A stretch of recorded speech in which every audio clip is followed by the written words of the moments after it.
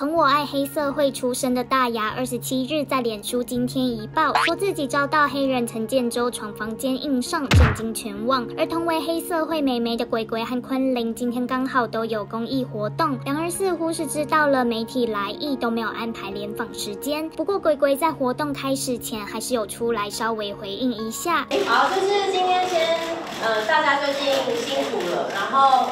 呃，今天其实主要还是做爱心是重要的事情，而且这社会上其实还蛮多呃需要被关心的事情。那你们想知道的事情，其实我不是当事人，然后我也不太方便回答，所以今天还是我们的重点还是我们的爱心啊。